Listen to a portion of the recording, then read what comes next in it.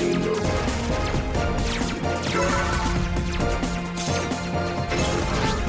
are two types of mines with different directions of explosion.